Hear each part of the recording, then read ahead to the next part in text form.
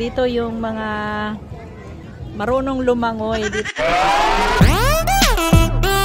Morning! Good morning!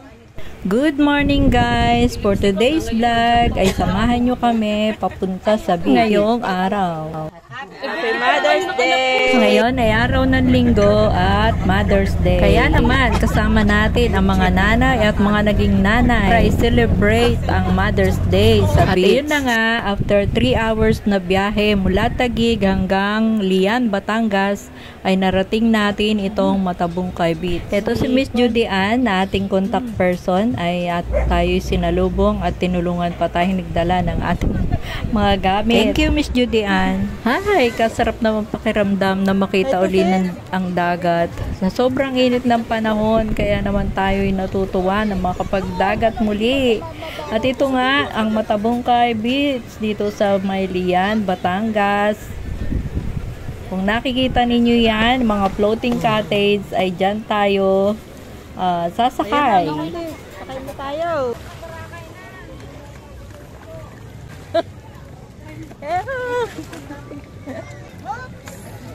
Sis, hawak sis.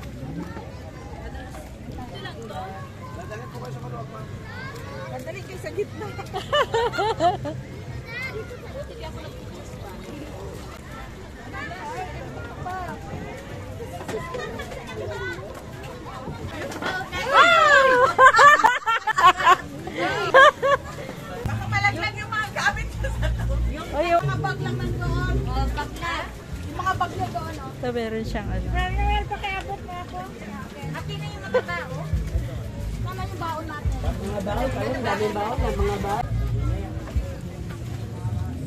Ay, syempre, mga gutom, galing sa biyahe, hindi pa nag-almusal yan.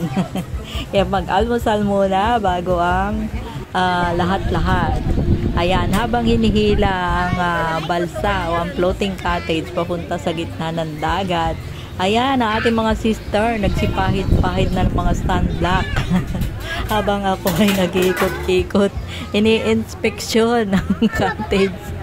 Pinagmamasdan ko kung ito hindi lulubog. Dahil hindi ako marunong lumangoy. Takot malunod ang lola niyo. At kaya naman, kung ikaw ang nanonood dito sa ating channel na bago pa lang, ay huwag mo kalimutan mag-subscribe at uh, huwag kalimutang pindutin ang uh, notification bell para lagi kang updated sa mga iba pa nating mga up- i-upload na mga videos. Siyempre, bago yun, tapusin mo muna ang ating video upang malaman mo yung mga gusto mong malaman, kung magkano ang aming cottage, kung mag ano-ano pa ang mga ibang detalye.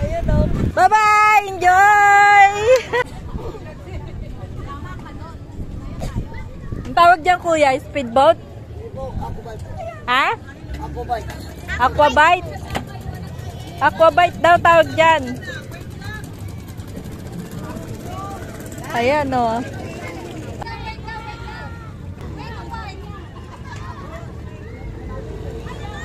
Alalala.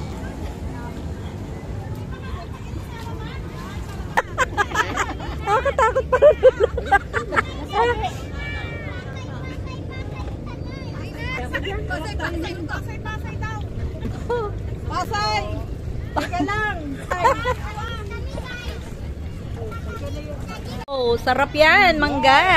Ay, ano yun? Mangga. Mangga na may ano. May sibuyas at kamatis. Sibuyas at kamatis. Lalagyan tapos may bagoong. Wow. Sarap din. Diba? Itlog. Kain na tayo. Oh, yan. Itlog na prito na may kamatis. Ayan oh, ang Mm. sarap.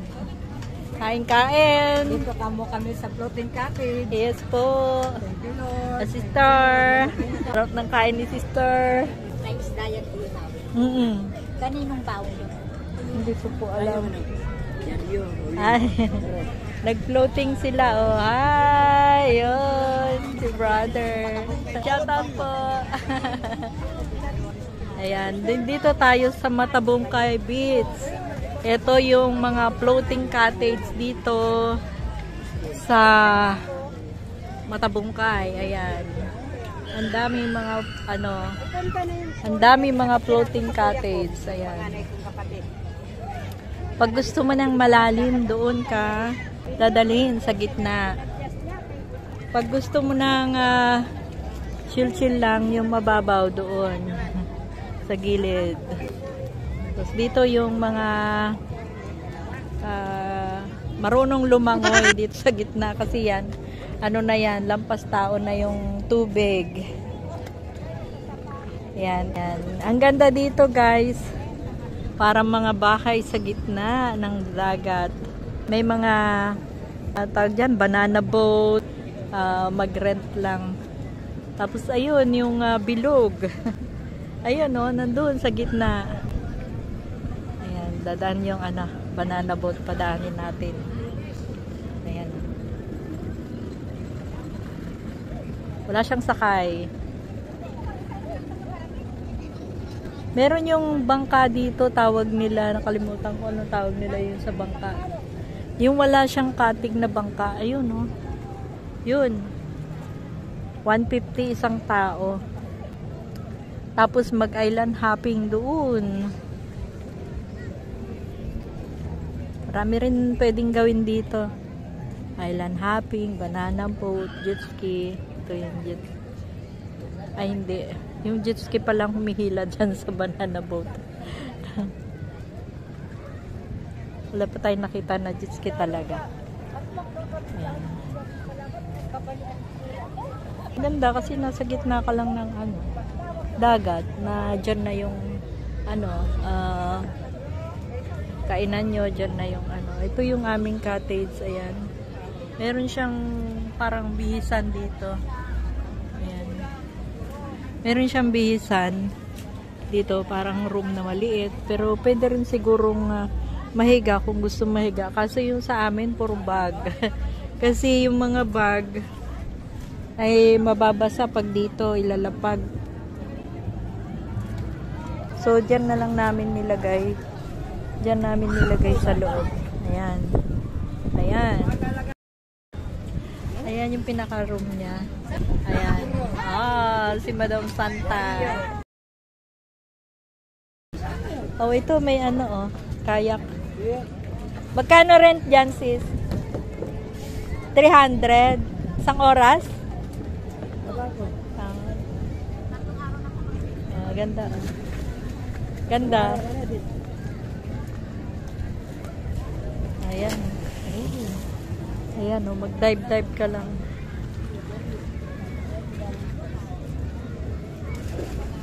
Ganda.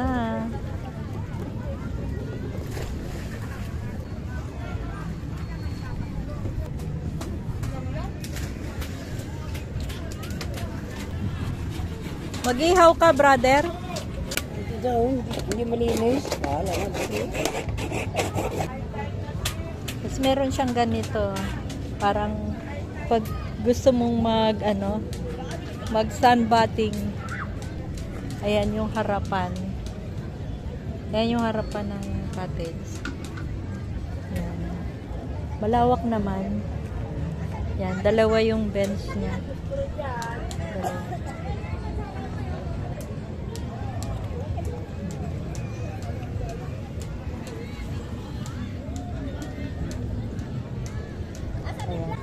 Kaway kaway!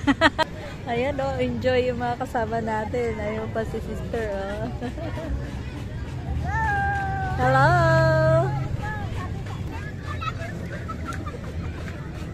Ayan, may mga ano lang ito. Ayan yung gilid ng beach. Puro mga ano dyan, uh, tagay, may mga rooms, may ano. Pag ayaw mo nang ah, mag ayaw mo mag ah, ganito na floating dyan. Pwede dyan overnight, ganun. Dito, dito sa floating cottage, hindi ko alam kung, kung pwede mag-overnight.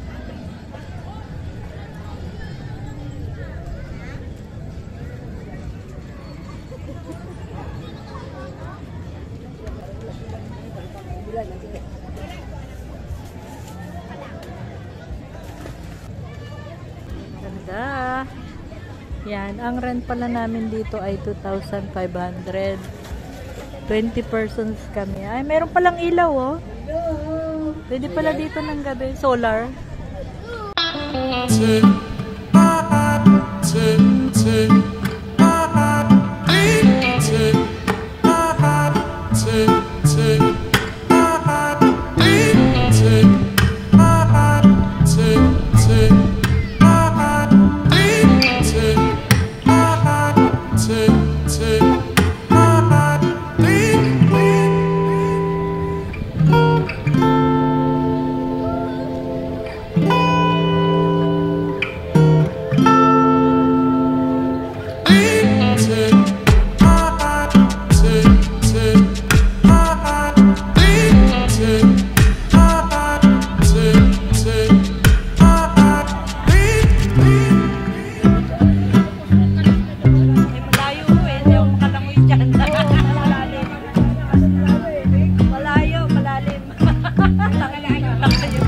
po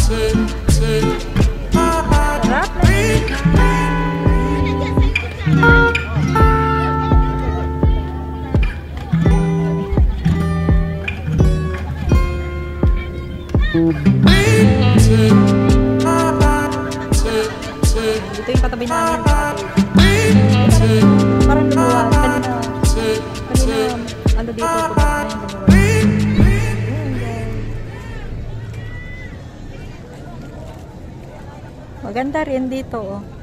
Parang ah, nakakatuwa yung nasa gitna ka ng ah, dagat kumakain. Pasakay sa cottage, sa balsa. Ayan.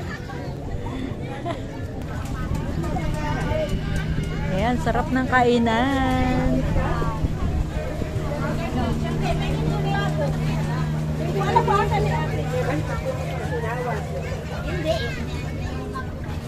Ayun, may mga nakita tayo dito na nagtitinda ng ice cream, ice buko. Nakalagay lang Ano sa yan, kuya? styro. Ha? Tapos ano, Ah, ice ano cream? nila, ah, inilalangoy. Lumalangoy sila sa gitna para ialok dun sa mga nandyan sa mga cottage. So bago yun sa paningin ko. Yung iba kasi nakita ko ay ah, nakabangka sila or kayak. So iba-ibang paraan ng ah, mga tao dito para makapaghanap buhay. Meron din mga nagtitinda ng isda pero dun yun sa may dalampasigan. So ayan, tanghaling tapat, nandito pa kami. At ah, yung tubig, nag-high tide. Ayan. So nasa malapit na kami pero ang lalim, ang lalim pa rin, lampas tao. Lumalim na. So high tide na ngayong tanghali. Kanina low tide, umaga. Tapos yun, uh, nag-high tide ganyan nakalalim. Kahit malapit na sa dalampasigan. So ganyan yung mga cottage dito pag walang laman. Ayan sila, nakahilera dyan. Marami pa rin mga, although maraming occupied, marami rin naman ah, bakante. Yan. Ganda. Maganda kasi nakababad ka na sa tubig.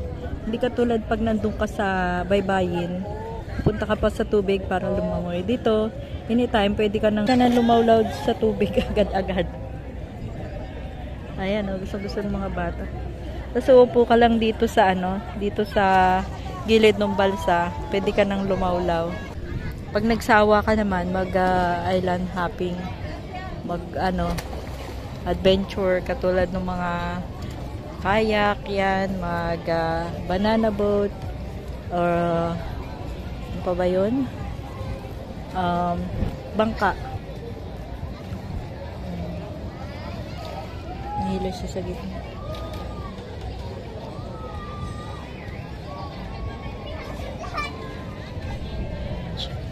Ganda. Tapos may silong naman siya, hindi mabibilad kasi merong ah, trapal ba yan? Can you say about Matabong Beach? Rating mo nga. 1 to 10, ilan ang weight? i-rating mo sa 1 to 10, no, sa ilan? Mga 8. 8. Bakit 8 lang? Siyempre, maganda naman. Mas lamang, ano?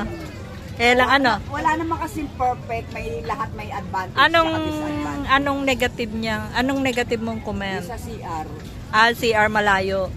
Pag nap, napupupo. Oh, kasi mahilig ako mag, ano eh. Yan lang. Pagka, saan mahilig ako mag-withdraw. pag jingle, pwede na dyan. Pero pag mag-withdraw, Withdraw, mag-withdraw. malayo. Withdraw, deposit. Withdraw and deposit, yun lang ang ano dito, disadvantage. Kasi pag mag-CR ka, pupunta ka pa dun. Dun. Tapos magbanlaw doon din, mga CR doon sa gilid. So, yun lang ang diferensya dito. Ah, yun lang ang ah, comment. Wala na, yun lang.